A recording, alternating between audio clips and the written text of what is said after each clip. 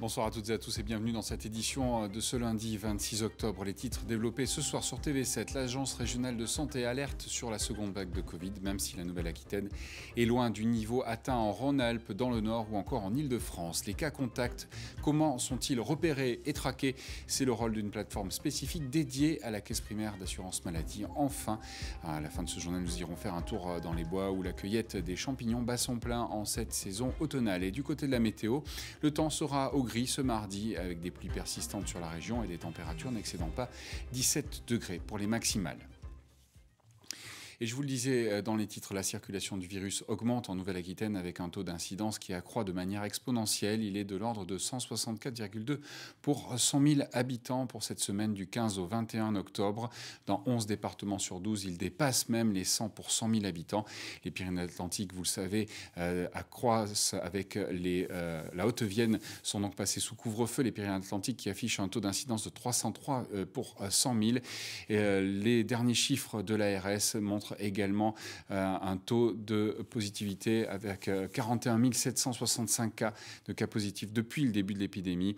223 clusters sont en cours dans la région. Ce sont donc ces derniers chiffres. Quatre patients d'ailleurs sont arrivés ce lundi au CHU de Bordeaux. Ils viennent de Saint-Étienne où euh, les taux d'occupation dans les hôpitaux sont largement, ont largement dépassé les 60 on a un, effet un petit peu concentrique euh, qui, a été observé hein. il y a déjà quelques semaines entre le cœur de Bordeaux, la métropole, la Gironde, euh, qui avec des gradients de, différence qui ont pu euh, faire prendre des mesures graduées par la préfecture l'ensemble des mesures, c'est le bon sens. L'intelligence collective de toutes ces analyses-là, elle doit être doublée euh, du bon sens que j'évoquais tout à l'heure. Hein. Une personne sur quatre euh, est vulnérable, euh, qu'elle ait plus de 65 ans ou qu'elle soit traitée pour une, pathologie. Elle doit convaincre les trois autres de pouvoir adopter les, bonnes pratiques, y compris celle de s'isoler ou de se faire tester réellement sur la métropole dans la lutte pour endiguer l'épidémie, le traçage des cas contacts joue un rôle prépondérant, notamment dans cette stratégie du tracé, alerté, protégé. C'est le rôle joué par la plateforme Contact Tracking de la Caisse primaire d'assurance maladie que nous avons pu visiter ce lundi avec Bénédicte Doin.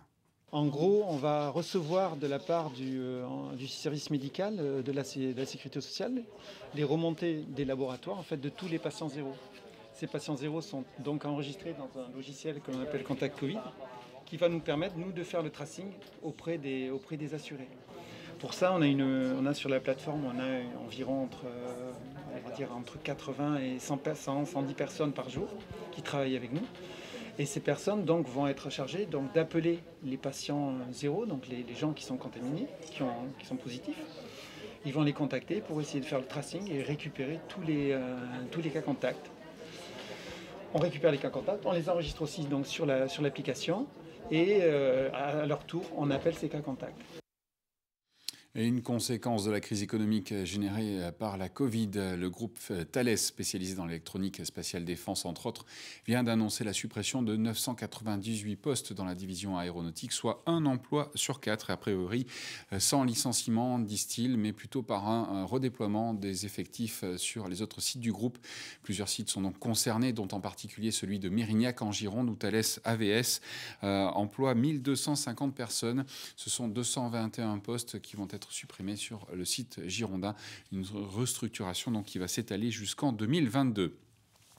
Début des travaux euh, sur la ligne A du tramway à Bordeaux aujourd'hui, place Birakem. Il faut dire que les installations ont désormais plus de 20 ans et que les voies commencent à montrer des signes de vieillissement. La métropole vient donc de lancer une opération de remplacement cette semaine.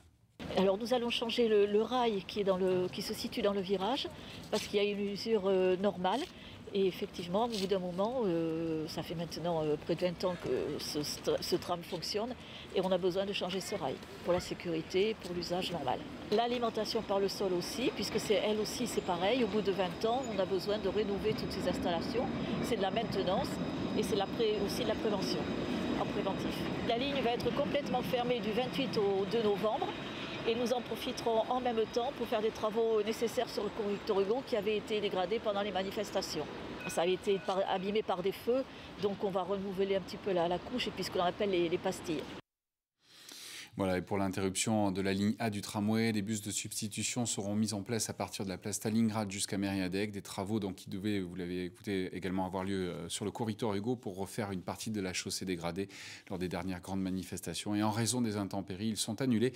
Mais seuls le tronçon compris entre la rue des Forts et la place Birakeim restera donc fermé à la circulation. Le parking des Salinières, juste à côté, a rouvert donc ses portes ce lundi. Il était censé rouvrir une semaine plus tôt. La commission de sécurité a finalement donné son feu vert en fin de semaine dernière, après plus d'un an et demi d'expertise et de travaux. Pour rappel, il avait été dévasté par un incendie d'origine criminelle en mai 2019. 334 véhicules avaient ainsi brûlé sous la ligne C du tramway quai de la Monnaie à Bordeaux-Saint-Michel. Je vous le disais dans les titres, avec l'automne qui est arrivé, c'est la saison des champignons qui a largement démarré. On ne compte plus d'ailleurs les photos des cueillettes abondantes sur les réseaux sociaux, même si ce ramassage reste une passion et un passe-temps. Donc pour bon nombre des Girondins, il ne faut pas oublier que cette activité demande quelques règles de prudence, comme ne pas ramasser les champignons que l'on ne connaît pas, mais c'est aussi une activité qui malgré tout est réglementée. Franck Poirot. Depuis le début du mois d'octobre, les bois et autres forêts ne désemplissent pas. Ils sont parcourus de long en large par les cueilleurs de champignons, objet de leur convoitise culinaire, le cèpe bordelais. Un champignon à pied blanc et à tête brune ou noire. Les spécialistes estiment qu'il existe près de 25 000 espèces de champignons, seules une trentaine ont un intérêt gustatif. Pour Bernard Deveau de l'Office national des forêts d'Ourtin, le cèpe bordelais a un avantage, il ne peut être confondu avec aucun autre. Toutefois, certains cèpes lui ressemblent, comme ce bolérude, comestible mais sans intérêt gustatif. D'autres champignons moins connus sont délaissés à tort par les cueilleurs. Alors ça, c'est une lépiote élevée ou coulmel. C'est un excellent comestible. Par contre, euh, les gens hésitent à la ramasser parce qu'elle se confond assez facilement avec une amanite. La forêt des Landes de Gascogne s'étend sur un million d'hectares. 95% appartiennent à des particuliers il faut en théorie leur accord pour ramasser des champignons sur leurs parcelles. Sur le domaine public, soit près de 50 000 hectares de forêt, le ramassage est libre, sauf sur la réserve du domaine naturel d'Ourtin. Elle mesure 1200 hectares. Ici, toute cueillette est interdite. Cueilleurs ou promeneurs ne peuvent même pas y pénétrer. Un chercheur de champignons va passer centimètre carré par centimètre carré dans tout l'endroit qu'il va visiter. Et ça, par rapport euh, au dérangement, c'est énorme n'importe quel petit insecte, n'importe quelle plante qu'il n'aura pas vue. Euh, tout ça va être dérangé, soit fuir, soit être écrasé. Et évidemment, c'est ce qu'on ne veut pas dans cette réserve naturelle. Sur les 1200 hectares du domaine de la réserve naturelle d'Ourtin, le ramassage des champignons est possible sur seulement deux parcelles de forêt. Elles sont situées en bordure de route. Toutefois, comme sur l'ensemble des forêts publiques, les cueilleurs doivent se limiter à ramasser un panier de 5 litres maximum par jour et par personne. Voilà, et dans les colonnes du journal Sud-Ouest, demain, vous retrouverez un dossier complet sur la question des reconfinements euh, qui euh, revient d'ailleurs au premier plan euh, des prochaines mesures qui pourraient être prises, mais aussi celle des couvre-feux locaux. Qu'attend-on ainsi de ces nouvelles annonces aussi qui promettent d'être sévères ce jeudi et jusqu'à quand la région va-t-elle résister? Un dossier complet à retrouver donc dans les colonnes de Sud-Ouest avec aussi un reportage à Pau. Le couvre-feu change-t-il vraiment la vie des gens? À l'international également, le torchon brûle entre Erdogan et Macron. Jusqu'où ira l'escalade diplomatique entre la Turquie et la France Analyse, entretien, reportage à Ankara où l'État euh, turc appelle au boycott des produits euh, français. Et enfin, ce sera le portrait de cette femme qui avait fait un AVC après avoir pris une pilule de troisième génération. 14 ans après, cette Girondine obtient réparation 4 millions et demi d'euros. Elle raconte son histoire dans votre quotidien. Allez, dans un instant, c'est le 19h Sport avec Bastien Loquet et Top Rugby ce soir à suivre avec Mathieu Dalzovo. Retour sur la défaite de l'UBB face à La Rochelle. C'était hier. Allez, bonne soirée à toutes et à tous sur TV7.